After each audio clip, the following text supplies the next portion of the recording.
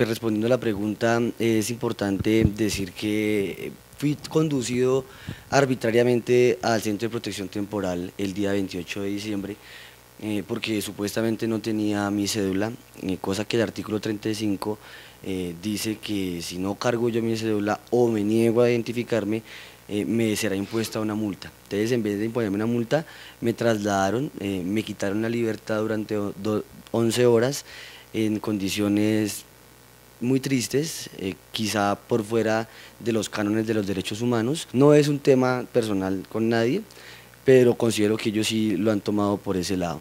Ahora bien, se publica la nota después de que ellos se enteran porque ellos no tenían la menor idea.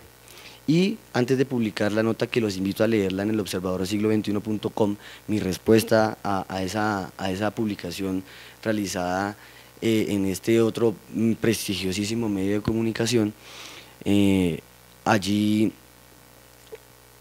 se explico todas las razones y expongo los motivos por los cuales fui conducido y considero que fue injusto.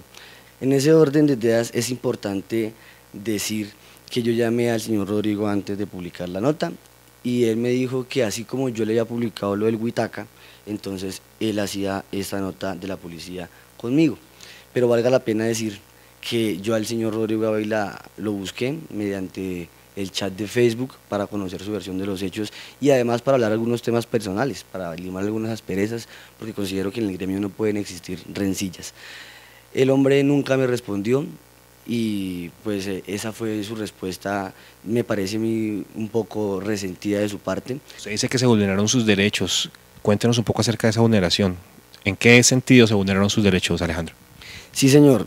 En primer lugar, cuando eh, en el video que está publicado ahí en el artículo que está en el observadorsiglo21.com, yo llegué a filmar, eh, primero llegué a comprar unos cigarrillos y me di cuenta que estaban eh, trabajando establecimientos comerciales por fuera del horario y ellos venden licores y rancho y todo tipo de cosas, ahí en la zona de los buses intermunicipales en la primera.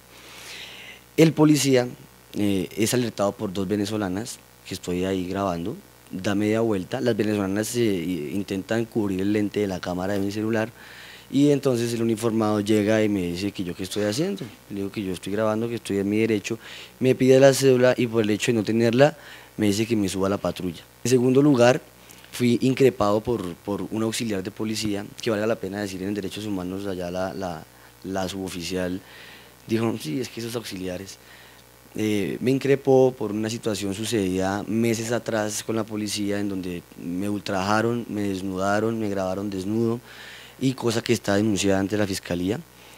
Allí en el centro de protección yo digo o solicito que se me permita hacer una llamada y no me la dejan hacer. El policía me dice que no. El policía me dice es que usted está borracho.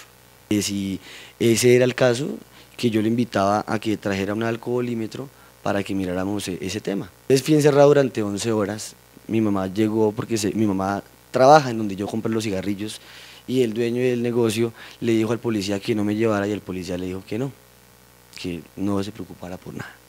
Entonces, eh, mi mamá llegó y angustiada preguntó por mí, yo desde adentro que estaba pegado a la puerta la escuché y grité desde adentro que le dijeran que estaba bien, a pesar de que en medio de la desesperación, el olor a bazuco en esos cuartos del Centro de Protección Temporal, porque allá ah, el, que es vicioso y tiene sus mañas, pues entra a su sustancia, entra a sus implementos y se encierra a consumir allí, sin que la policía le diga absolutamente nada.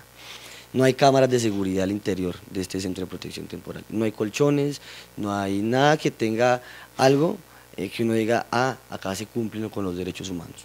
Eso yo se lo pregunté al señor secretario de gobierno, le dije, lo invito a que me muestre el centro de protección temporal. Y me dice, tengo 10 días para responderle.